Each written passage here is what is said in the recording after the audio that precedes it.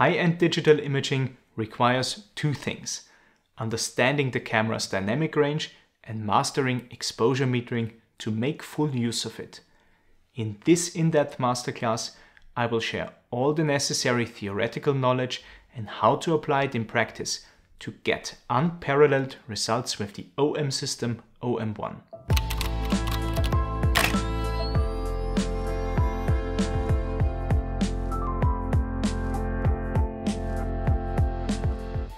My name is Thomas Eisl. I'm a professional photographer from Vienna, Austria.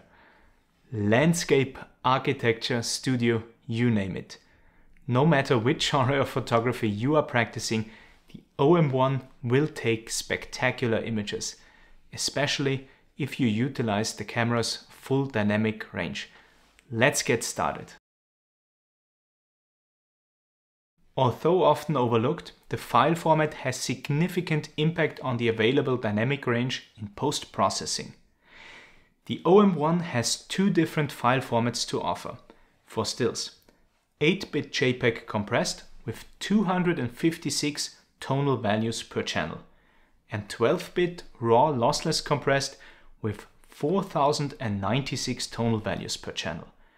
So you can clearly see that only when shooting RAW, the full range of tonal values captured by the sensor can be recorded.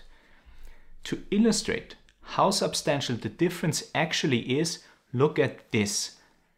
The length of this strip below represents 4096 tonal values, so all the tonal values the RAW file is able to capture. The strip above represents 256 tonal values evenly distributed. Everything red indicates the lack of intermediary tonal values. The gaps are actually so big that the strip appears to be almost solid red. This is how substantial the difference is between JPEG and RAW. So always shoot RAW if you want to capture the full dynamic range. The OM system OM1 achieves the widest dynamic range at ISO 200. Every other sensitivity setting will reduce the dynamic range of the resulting image file. So from now on, I'll be talking only about ISO 200. At this setting, everything from minus 3 eV to plus 3 eV is captured with high fidelity. In this range, the color reproduction and noise levels are excellent. My recommendation is to always keep the main subject in this range. But let's examine what happens outside this range. Looking at the shadows from minus 3.3 to minus 4 eV, noise and color shifts are quite visible. Brightening these zones to recover texture or image detail in post-processing will go hand in hand with a reduction of fidelity. Everything below minus 4 eV is mostly image noise and color shifts. So when parts of the image fall in this tonal range, I recommend clipping them deliberately by setting the black point in post-processing. Looking at the other side, in the highlights from plus 3.3 to plus 4 eV, a loss of texture and limited color reproduction is to be expected. Although these areas might be somewhat salvageable in post-production, the loss of fidelity is significant. Everything above plus 4 eV suffers from heavy clipping, so expect these areas to be completely white without any texture or color information. Avoid this at all cost. So down below you see the full practical photographic dynamic range of the OM system OM1. Correct exposure metering means fitting the relevant tonal values of the scene into the available dynamic range of the OM1. I will demonstrate this with a test scene. While digital ESP metering works great, it does not give us a lot of control over the actual exposure metering process. The good news is that the OM1 has three relevant high precision metering modes. Let's take a look. So here is ESP metering, we won't be using that. And then there is spot metering. As you can see, spot metering covers this little circle portion of the image. This is about 2% of the frame. It meters for 18% middle gray. and this is perfect for getting precise exposure meter readings of different parts of the image. The second relevant mode is spot highlight.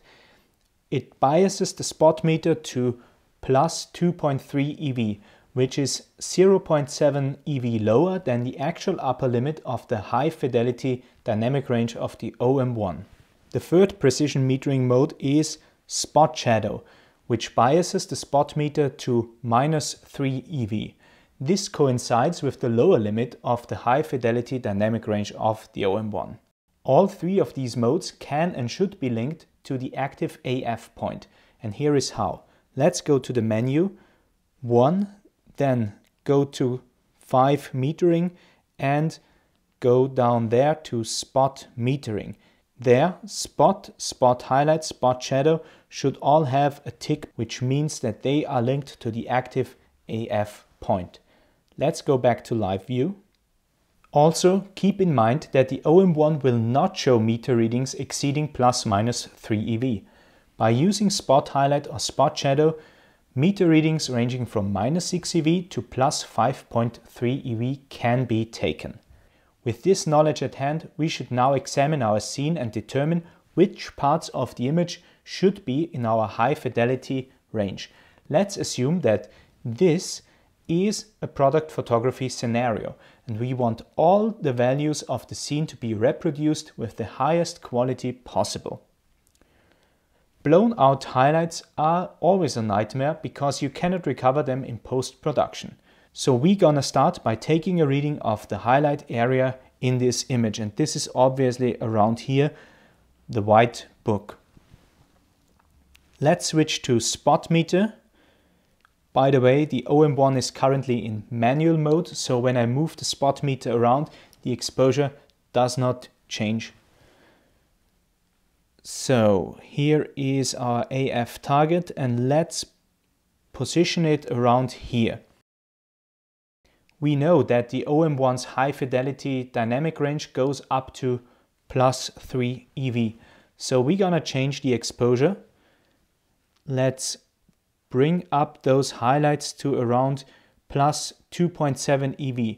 I'm not going to go to plus 3 eV as this part right here might be even a bit brighter and also the spot meter is placed around here so it's gonna take a reading of the brighter part of the book and also of this a little bit darker part of the book.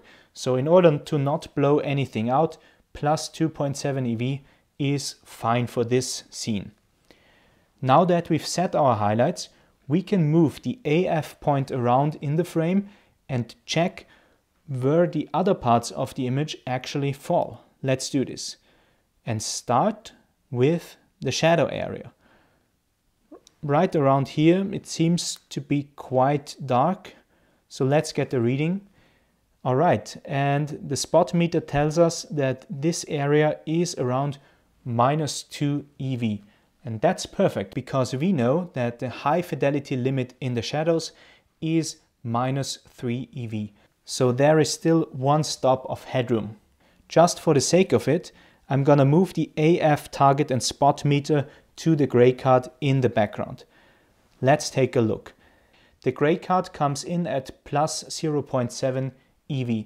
So actually it's overexposed a bit, but that's not a big deal because we can just bring it down in post-production. We have now picked the best exposure settings for this particular scene. We're gonna make use of the whole dynamic range of the OM1 and we won't be clipping highlights or shadows, so we can take the shot. Right, in playback, we can still examine the histograms just for the sake of it. Keep in mind that those are JPEG histograms and do not represent the dynamic range of the 12-bit RAW file of the OM1. In any case, even though we have overexposed this part of the image by plus 2.7, we do not have any clipping areas even in the JPEG preview. Post-processing, the resulting RAW file will be a breeze. High-res shot does not only increase the image resolution drastically, but also improves the high fidelity dynamic range of the resulting file by 0.7 EV in the shadows. However, due to the in-camera composition of the images, the resulting file has significantly less headroom in the highlights.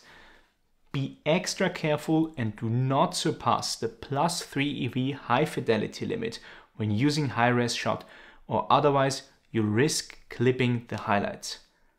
Keep in mind that your best option to increase dynamic range with the OM1 is using the HDR mode and not the high resolution mode. Thanks to the sensor and image processing, the OM1 will deliver convincing results even without paying too much attention to the available dynamic range. Be that as it may, by being cognizant of the camera's dynamic range, you can really push the image quality to a new level.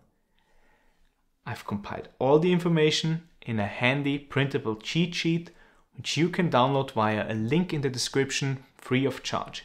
You can bring this cheat sheet whenever you are shooting with the OM1 so you can always make sure that you are not clipping highlights or losing shadow detail. Thank you very much for watching. Please consider subscribing and following me on other social media. See you next time.